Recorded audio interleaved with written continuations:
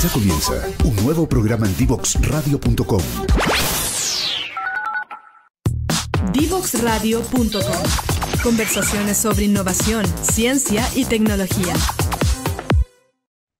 Bien, seguimos conversando con Alfredo y Radazabal, eh, un apasionado por la bicicleta, por el café, montones de historias, montones de kilómetros. Eh, Alfredo, pasemos a hablar de, a propósito de tu experiencia, que nos contabas en la primera parte, sobre liderazgo, sobre cómo eh, te ha tocado eh, acompañar, guiar emprendedores en su ruta a partir de tu experiencia. Cuéntanos un poquito tu visión en torno al liderazgo eh, de cara a un ejecutivo, un emprendedor, un fundador, un empresario que está partiendo. Mm. Mira, muy buena pregunta. La primera pregunta que yo siempre les hago, y todos, todos, todos, todos pifian. Yo también pifié, por eso que la hago. ¿ya? Eh, y la primera pregunta es, por favor, yo soy un niño de 12 años, explícame qué es tu empresa en una sola frase. Y ahí es donde queda la pelota. Es que no, es que este es un caso especial porque tengo una diferencia. Y ahí es donde yo digo, mira, eh, yo siempre me acuerdo un profesor de matemáticas, a mí me encantaban las matemáticas, pero como tenía mala base, me iba mal. ¿ya? Y eh, a mí este profesor me decía, y él veía el entusiasmo que yo tenía. Es decir, raza, su problema es que usted no entiende la pregunta, y como no entiende la pregunta, nunca va a llegar a un resultado correcto. Y la vida, en muchos aspectos, es así, ¿ya? Eh, yo primero tengo que tener claro qué hace mi empresa, porque todos pensamos, todos partimos como chistes diciendo, no, mi empresa es totigüe, todo tipo de cosas, ¿ya? Porque en el fondo yo, ¿dónde se puede ganar plata? Ahí voy, ¿ya? Eh, pero si yo no soy capaz de definir mi empresa en una frase y saber qué es lo que me hace especial, va a ser imposible que yo desarrolle una estrategia correcta. Hoy día la información está en todas partes, el problema, la data está. El problema es que no la usamos o no la sabemos usar, ¿ya? Eh, primero, saber qué es lo que soy eh, y tener una estrategia. En la vida real, los Rambo no sirven. Rambo, un ejemplo que yo siempre pongo, Rambo tenía muy buena puntería. Rambo con una flecha mataba a 10 personas. ¿ya? Pero Rambo no ganó ninguna guerra. ¿ya? Entonces el Rambo en la vida real no sirve. La guerra la ganaron los vietnamitas, que eran personas normales y corrientes, que tenían un objetivo y tenían una estrategia. Y cada uno se especializaba en una cosa. ¿ya? En el emprendimiento, en la empresa es exactamente lo mismo. ¿ya? Eh, y eso sumado a que eh, mucha gente llega al emprendimiento como una manera de liberarse del yugo laboral y se encuentran con la realidad. Y la realidad es que si trabajar empleado en una megacorporación o en otra empresa es vivir con el yugo, ser empresario es vivir con dos yugos, ¿ya? Porque ser empresario no es duro, es mentira. El que diga que ser empresario es duro es mentira es durísimo. Es durísimo. Y eso hay que tenerlo súper claro. Y esto es como, vuelvo al ejemplo, bajar de peso. Eh, tener buenas intenciones o tener voluntad no sirve de nada si es que yo no tengo la disciplina y la perseverancia. Yo no voy a bajar de peso de a kilo a la semana o al día. Voy a bajar gramos. Es lo mismo, yo me acuerdo perfectamente cuando eh, estaba feliz el primer mes y vendía, no sé, veo, vendí 200 mil pesos. Y hoy día, si no vendo por lo menos 30 millones, yo digo, no, este mes me fue mal. Pero eso no es de la noche a la mañana. Eso hay mucho trabajo de por medio, ¿ya? Entonces, para llegar de A a B, hay que tener claro, es como si yo digo, Ángel, vámonos a Arica. Entonces, feliz, oye, sí, si este tipo es muy, es muy divertido, vámonos.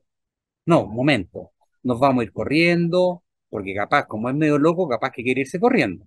Nos vamos a ir corriendo, nos vamos a ir en bicicleta, nos vamos a ir en moto, nos vamos a ir en auto. ¿Cuándo partimos? Y en base a eso yo planifico el viaje. El éxito sin planificación no existe.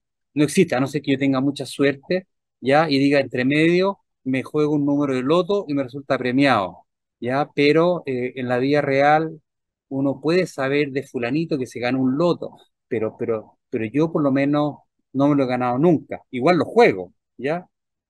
Si me toca, pero, pero es eso. Hay que tener, hay que tener disciplina y hay que tener estrategia. Sin eso, yo siempre digo, fracasa el que no estuvo dispuesto a pagar el precio. Y ese precio es muy duro. Es como cuando dicen, el otro día conversamos a raíz de los Panamericanos, eh, yo soy bien amigo de eh, Cristóbal Vidaurre, papá de Martín Vidaurre, que es gran ciclista, y mucha gente dice, no, es que es tocado por la mano de Dios. ¿Ya? O uno podría decir un Maradona o Ronaldinho, que son tocados por la mano de Dios. Y eso es falso. Ronaldinho, Maradona, Martín Vidaurre puede tener más condiciones, a lo mejor que tú o yo, o puede tener un nivel de hematocrito impresionante o un VO2 impresionante de atleta privilegiado, pero nada de eso sirve si no tengo disciplina y perseverancia. Y Martín Vidaurre está donde está a nivel mundial porque tiene la disciplina y la perseverancia y se masacra, porque no es que se machuque, se masacra todos los santos días. Si Ronaldinho podía hacer lo que hacía con la pelota, que se la pasaba poco menos que de dedo en dedo, así para atrás y para adelante, no es porque fueron virtuosos, es porque tiene muchas horas encima. Entonces, volvemos a lo mismo. La diferencia entre tener éxito y no tenerlo está en que el que tuvo éxito aguantó un minuto más. Es como cuando corremos una maratón, es como cuando eh, tú vas subiendo un cerro y tienes que llegar a la cumbre y de repente viene la tormenta y tú sabes que en la, en la punta del cerro hay un refugio, tú vas a llegar al refugio y no está en tu, en tu, en tu, en tu chip. Si voy a pasar frío, no voy a pasar frío. Es, viejo, o llego al refugio o me muero porque no tengo alternativa de bajar. Entonces, del minuto que yo saco de mi cabeza eh, el retroceder como una alternativa, ya tengo gran parte del éxito asegurado. Una de las cosas que nosotros menos consideramos es la capacidad que tenemos. El rendimiento, una de las mejores frases que, yo he escuchado en el mundo del deporte eh, y de la competencia, porque al final la vida es una competencia, la empresa es una competencia, competencia por hacer las cosas bien, ¿no es cierto? El rendimiento es igual a la capacidad física menos el estrés mental, ¿ya? Por eso que a los viejitos en estas cosas, en estas tonteras de ultradistancia, de pedalear, no sé, 500, 1000 kilómetros sin parar, eh, se nos da más fácil, sobre todo si le hemos pasado mal, porque hemos querido más encima, ¿ya? Eh, la fortaleza mental es algo importante y una de las cosas que yo he aprendido, eh, en algún momento me dio por la neurociencia, ya que igual me, entretiene mucho, ya, ya está demostrado científicamente que todos construimos nuestra realidad en base a dos fenómenos. Uno que es la información, lo que yo escucho, lo que leo, lo que veo, lo que huelo, eh, lo que siento. Y lo otro es eh, la imaginación, ¿ya? Que curiosamente el cerebro no distingue entre realidad y ficción. Por eso que nos despertamos de repente eh, en la mitad de un sueño asustado, o oh, soñé que me iban persiguiendo, ah, qué rico que me desperté porque lo estaba pasando pésimo. Eso es porque el cerebro no distingue entre, entre ficción y realidad. Y resulta que la neurociencia ha demostrado que eh, nuestra realidad se compone un 20% apenas por información y un 80% por imaginación. Entonces, si yo dejo que a mí me entre mucha imaginación o mucha, o mucha turbulencia en la cabeza, obviamente que mi vida va a ser turbulenta. Ahora, esto no es, no, hay que ser positivo, hay que ser positivo. Oye, si yo también me enojo con el pelotudo que no quiere avanzar o que me, hace una cruzada con el auto y le toco la bocina, eso es normal, ¿ya? Pero, pero, pero sacar esas cosas es un ejercicio que se trabaja como ir al gimnasio. Por ejemplo, cosas curiosas, y van a ver al tiro porque van a poder decir, oye, el gallo chanta lo que dice. Por ejemplo, una prueba muy fácil de que el cerebro no distingue entre ficción y realidad. Basta que yo haga así mira la cara ridícula, que sonría, una sonrisa forzosa, bien fuerte, durante 10 segundos, y van a notar inmediatamente la frescura que tiene en el cerebro, porque el cerebro asocia la sonrisa a felicidad, y eso eleva la dopamina y baja el cortisol. Googleen, por favor, dopamina y cortisol son dos palabras mágicas que les van a, les van a cambiar la vida cuando empiecen a entender cómo afectan en nuestro sistema, ¿ya? Entonces, mientras más bajito, el cortisol es lo que se dispara cuando, por ejemplo, a mí me persigue un tigre en la selva, ¿ya? Y cuando a mí me persigue un tigre, toda la sangre, toda la sangre del organismo va a ir a los músculos, porque el cerebro dice, arranquemos.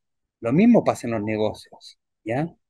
Y arranquemos. Yo cuando me va persiguiendo un tigre, ¿ya? A mí no me da frío, yo no me, no me acuerdo del hambre, y yo no me doy vuelta decir, señor León, por favor, no me persiga porque yo soy vegetariano. O señor León, no me persiga porque mire, fíjese que ando, ando sin zapatos y hay espina acá. Tú corres por salvarte, ¿ya? Eso sucede, ¿ya? O por ejemplo, cosas que hemos perdido como abracémonos más cuando nos saludamos, seamos cariñosos. Ese afecto, ese afecto que nos damos, todo dispara esos mecanismos neurológicos que nos hacen sentir bien, ¿ya? Por eso que tenemos que ser generosos y expresivos. No hay nada más humillante que no nos demos cuenta o, que nos bajonee. Esa gente que nos saluda o nos da la mano como la mano fofo mirando para el lado. Y es como, pucha, no soy importante para esa persona. Cambiemos el switch. Salúdalo como si fuera, oye, como si te estuvieran presentando, no sé, a, a, Shakira, por ejemplo, no tengo idea, ¿ya? Eh, eh, pongámosle, pongámosle empeño. Y ahí donde eh, hay una persona bien interesante que está en YouTube, que es Víctor Coopers, ¿ya? Y Víctor Coopers tiene una fórmula súper buena sobre cuánto valemos como persona, ¿ya? Y él dice, eh, nuestro valor como persona, como profesional, como pareja, o cómo puedo evaluarme yo o evaluar a una persona, ¿ya? Que es A más C por H. La, perdón, eh,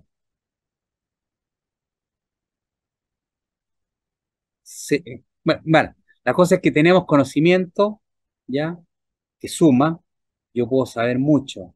Eh, tenemos eh, habilidad, esa era la otra, habilidad, que es la facilidad para hacer algo, que suma también. Pero tenemos la A, que es la actitud, y esa multiplica, ¿ya? Eh, a mí me puede llamar la atención una persona bonita, una mujer bonita, pero, pero pero que sea o no bonita es algo que va a durar un periodo de tiempo. Si yo, si yo te digo, eh, piensa, piensa en tus amigos, o piensa en tus socios en un negocio, o piensa en tu pareja, el por qué te enamoraste. Y no te enamoraste por la plata, no te enamoraste por su conocimiento, y tu amigo del alma no es tu amigo del alma porque sabe mucho, tiene mucho, es por la actitud que tiene. Y yo recuerdo, yo los mejores jefes que tenía eran esos que, sin que él me dijera nada, me sacaba la mugre, ¿ya? Es una tremenda, tremenda persona, yo le tengo mucho cariño hasta el día de hoy, yo aprendí mucho con él, eh, y yo lo único que quería era sacarme la mugre para impresionarlo, para que viviera lo bueno que yo era también. Yo lo único que quería era ser como él en el ámbito profesional. Y eso era su actitud. Y lo que falla muchas veces en los emprendedores es la actitud. Y uno por la vida puede ir como una velita que sí alumbra. O puede ir como una ampolleta de, de 150 watts. Y eso lo defino yo, no lo defines tú, no lo define el medio.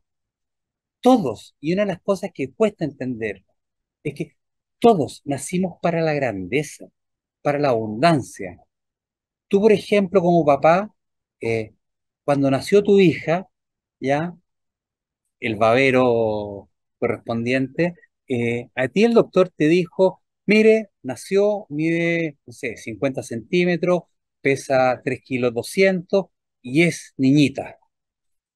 Eso es un dato duro, concreto que te dan pero no te dicen midió 50 centímetros, pesa 3 kilos 200, es mujer, pero lamentablemente pinta para cenizo. no, no pinta para una, ser una persona optimista. No, esos son hábitos que yo voy asumiendo por el camino. O la otra gran mentira que nos metemos en la cabeza y que ha hecho mucho daño a la sociedad es que yo ya estoy viejo para cambiar. Viejo, la vida es cambio. Lo único que no cambia es el hecho de que nos vamos a morir. ¿Ya? Y vivimos pendientes de un futuro que nunca llega. Porque hoy es el futuro del ayer. ¿Y qué estamos haciendo al respecto? Y por eso la importancia de aprovechar bien nuestro tiempo. ¿Ya? Es como el cuento de la. Imagínate que a ti te dejaran todos los días en la mañana, tú despiertas y tienes 24 millones de pesos del velador. Y te dicen, tienes toda esta plata para gastarte. Pero todo lo que no te gastes al terminar el día, mañana va a haber desaparecido y van a haber otros 24 millones arriba de la mesa. ¿Ya? Y no valoramos el tiempo, que es lo más importante que tenemos. ¿Ya? Yo te diría que eh, trabajar en la actitud, y no es decir cosas bonitas, porque yo no te estoy contando eh, acá nada nuevo. ¿ya? Yo estoy diciendo, repitiendo como lorito cosas que en su momento dijo otra persona y que a mí me hicieron sentido. Y yo te las digo y hacen sentido, pero el problema está en que no hacemos nada con eso. ¿ya? Y eso significa que si a mí me hace sentido y yo quiero salir del hoyo en la situación en la que estoy, ya sea económica, ya sea anímica, lo primero que tengo que entender es que el único responsable de salir de donde estoy soy yo. No hay otro responsable. Si yo digo, no, es que el sistema es perverso y el banco no me quiere, viejo, el problema no es del banco, el problema es tuyo y de nadie más. Porque no sabes ver el problema o porque no lo quieres ver. ¿Ya? No es una mala persona la persona que no quiere estar a tu lado. El problema es tuyo. Tú pregúntate, ¿qué estás haciendo tú mal que esta otra persona a quien tú quieres mucho no quiere estar a tu lado? ¿Ya? Y en la medida que nosotros aprendemos eso, ¿ya? Vamos siendo mejores personas o por lo menos eh, personas más felices. Como, no, es que yo no he encontrado mi media naranja. Viejo, si tú estás buscando una media naranja, tienes un problema, porque quiere decir que te falta la mitad de la naranja. ¿ya? Y las personas no son ortopedia, no son bastones. Si yo no puedo ser una naranja completa, es imposible que otra persona venga a completarme. Yo primero tengo que aprender a hacer una naranja completa y después busco, si es que me llega o no me llega o me interesa buscarla, otra naranja para caminar juntos. Y obviamente podemos ser felices de una manera diferente, pero yo primero tengo que aprender a ser feliz yo solo. ¿Ya? Es como, no sé, yo siempre cuento el caso de mi hijo. Mi hijo, yo me acuerdo de chico, eh, ya castigado, a la pieza. Y como a la media hora yo miraba a mi señor y decía, oye, vi este gallo no ha metido ruido, nada, y entramos a la pieza y él estaba jugando con el cordón de la cortina y se entretenía solo. ¿ya? Si no somos capaces de entretenernos solo, es muy difícil que nos entretengamos con otras personas. ¿ya? Entonces, volviendo al tema del emprendimiento, eh, muchas fallas se producen o muchas veces el empezar es duro porque no tengo claro mi objetivo y, como siempre, lo urgente no deja ver lo importante. Lo importante es tener un plan de vuelo, ¿ya? Y lo que siempre eh, repito yo en, eh, en eh, las mentorías que me toca, yo digo, la UDD Ventures es para mí el trabajo más entretenido que tengo, ¿ya? es una herramienta, no te va a solucionar tu problema. Mm. Es como si tú eres mecánico y necesitas una llave inglesa, la llave inglesa si tú no la sabes usar, no te va a servir de nada. Y si no la sabes usar, tienes que aprender a usarla y tienes que tener la voluntad de aprender a usarla. Y al principio es más mm. complicado, ¿ya? Y después va a ir siendo más fácil. Pero eso depende de ti. Sin esfuerzo no hay resultados. O sea, a ti no te va a ir mejor en tu negocio porque entraste en una aceleradora. Mm. A ti te va a ir mejor en tu negocio porque tienes más información y entiendes mejor por dónde tiene que ir tu sacrificio. Pero para que nos vaya bien, hay que sacrificarse. No existe. Es como, es como pretender eh, aprenda inglés mientras duerme. Claro. Y hay gente que se compra ese cuento. O, tome Herbalife y va a bajar de peso.